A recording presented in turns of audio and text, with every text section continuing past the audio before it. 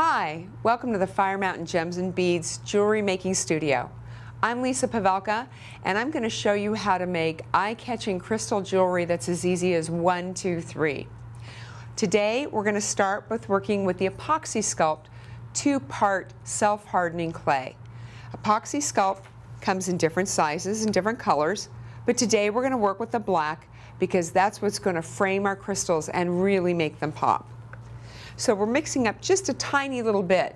You can see here, I've only mixed up the size of maybe a large pea.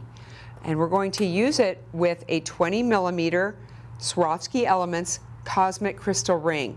This is one with a foil backing, so it's going to add to the reflection of all the other crystals.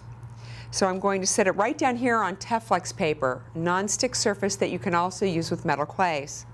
I'm placing my pea-sized bit of clay in the center and gently pressing down with my fingertip to flatten it, making it a canvas that's going to receive the lovely, lovely crystals that will fill the inside of the ring. So we start with chaton crystals. If you're not familiar with a chaton, they're pointed back crystals that resemble what you would think of when you think of a traditionally cut diamond. They have a pointed back. But you can also use the Swarovski Element flat back crystals as well.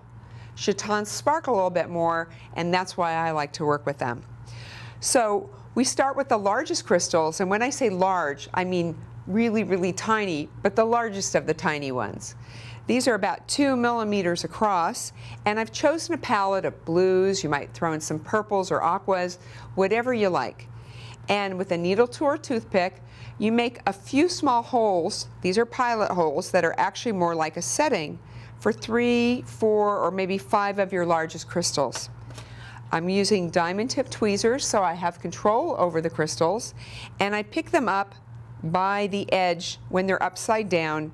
That is also referred to as the girdle of the stone. Flip it over and I just lay them down wherever I've created a hole. And you'll just use those holes for the largest of your crystals. You won't need to do that when you work down to the smaller sizes. Press the crystal down so it's nice and flat and that the table of the stone is level with the surface of your clay. The table is the flat facet that's on the top of a faceted stone or crystal.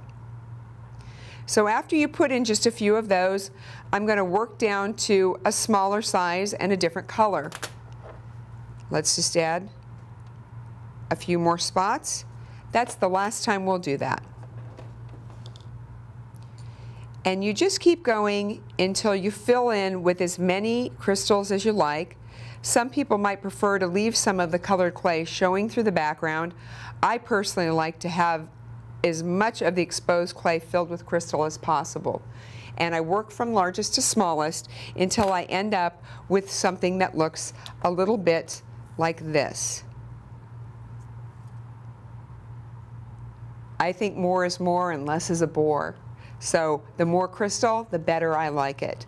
I'm going to let that set up for about two to three hours until it hardens. But before I do that, you might want to take a, decor a decorative jump ring, a bail, or a piece of wire that you're going to fabricate later into a suspension and just push it onto the back of your piece like I've done here.